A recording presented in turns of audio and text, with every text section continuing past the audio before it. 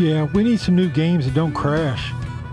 A lot of these since the update, anything that came out after the last two updates, either the map crashes or something that you put on there crashes.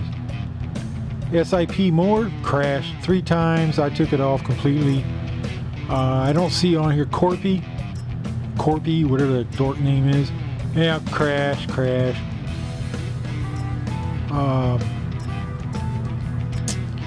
European countryside crashed. Black River, I couldn't get a lot of the things to uh, the productions to spawn pallets. So I am here. Uninstall. Goodbye. Goodbye. Yes. Goodbye. And there was a few others. Some of the ones I didn't think would crash crashed. I think next one I'm gonna try is uh is it Backroads County? Let's see, 70. I don't know. It's small. All these small ones have been crashing. All those small ones you think, you know, megabytes to download would be good, they're crashing.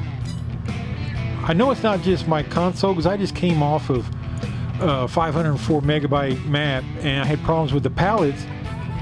But I can see that as an issue of there's just too much going on for a console. 500 megabytes for a console, maybe it was too much but I didn't have no problems.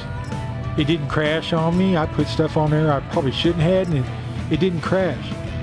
So, and some of these are just same old, same old, you know. The coffee bean one, whichever one that is, man, that sucked. I didn't like it either. I'm not gonna sit there with no goofy harvester going down a line where it jams up all the time.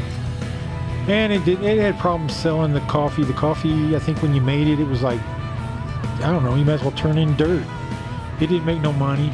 It was more money turning in the coffee beans than it was making the coffee, so I went that route.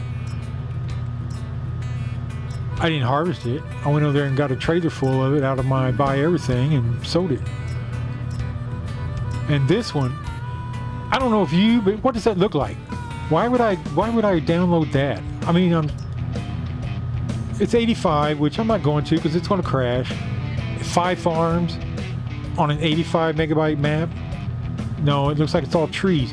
Trees are not console's friend, so that's a PC map.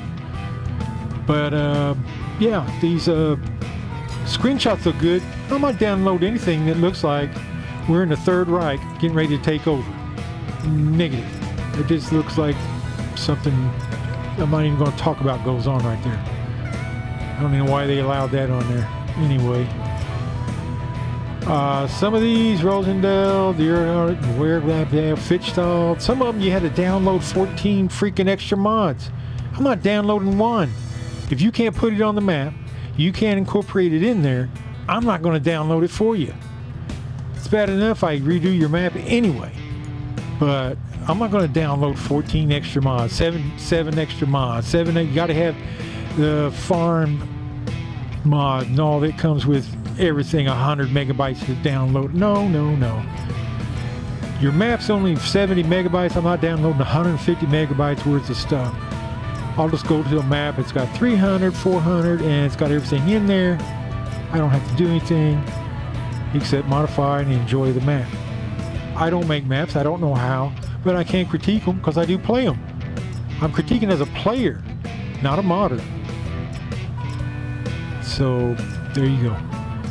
Volcano Island, between the mounds, crash.